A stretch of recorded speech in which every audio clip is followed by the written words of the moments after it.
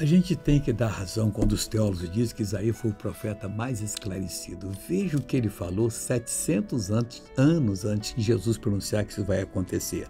Isaías 13, 10. Porque as estrelas dos céus e os astros não deixarão brilhar a sua luz. Não vai deixar, não. Alguma coisa vai acontecer lá que não vai. E o sol, que nós precisamos tanto dele, se escurecerá ao nascer e a lua não fará resplandecer a sua luz. Jesus disse que vai ser a pior coisa aqui no mundo. Ai, coitada da igreja. Não, a igreja estará na glória, já houve arrebatamento, meu irmão.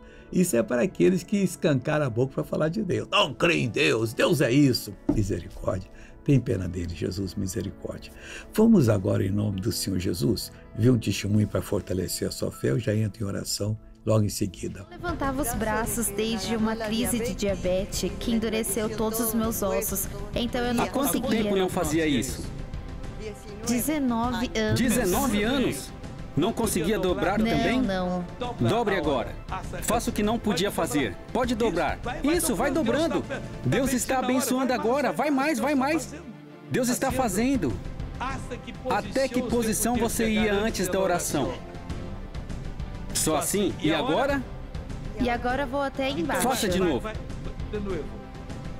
Olha, vai chegar até o chão. Olha, está chegando no sapato. Pai, estamos orando agora.